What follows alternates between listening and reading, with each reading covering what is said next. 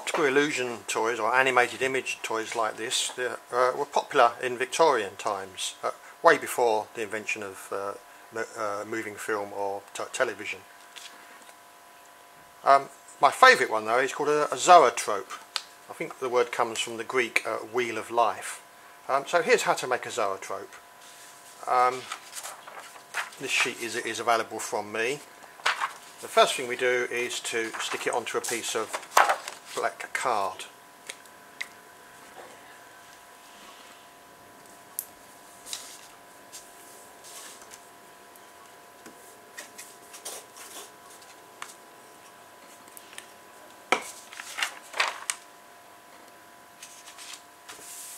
Once you've got that stuck down, we then cut it out into two pieces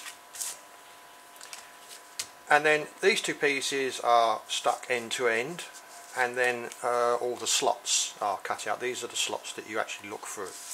So we're going to join these two together using the tab and stick them on with um, two pieces of sticky tape, wrap the tape round and then put another piece of tape on the other side as well.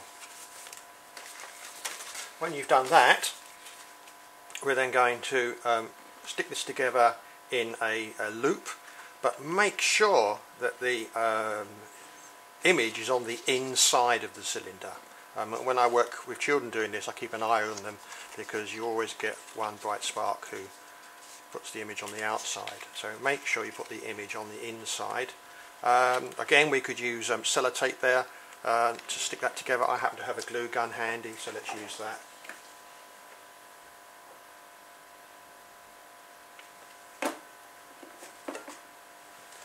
Go. Make sure the image is on the inside.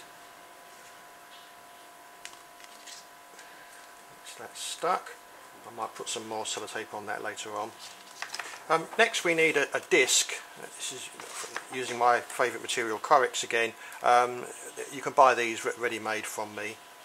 And hopefully that's going to be a nice fit inside. Yes it is and again we could put some sellotape round here. Um, I'm just going to put a little bit of glue just to fix it in place. So we'll put some glue there in four places. Just to hold it. Turn that back, back round again and that should hold it in place. Make sure it doesn't stick to the table of course. Okay, now we need to um, be able to spin the zoetrope. So we need a piece of um, 4mm dowel and I've got a wheel here. Now hopefully I should be able to push this through, just push it through a little bit so that that can then go through the hole in the middle of the Correx. Now we need to fix that in place we, we could use sellotape, but once again I'm going to use my glue gun.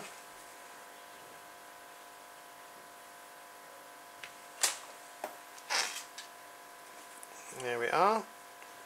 And that's it. Uh, you spin the zoetrope. I think that's it. I don't know if you're picking this up through the images, but I can see um, a cheetah running, the silhouette of a cheetah running at the bottom, and a hawk or an eagle hovering hovering above. Um, you can make a deluxe version of this uh, if you slide on uh, a jumbo straw and then to keep the jumbo straw from falling off just uh, put a, a, bead on the end. And now you can hold the straw and spin it. Oh going backwards. There we go. So it's a really nice toy to make. And with older children I'd encourage them to slot in their own strip of white paper and perhaps um, come up with their own designs. Uh, perhaps something like a bouncing ball would, would be a good idea to start off with. So that's how to make a zoetrope.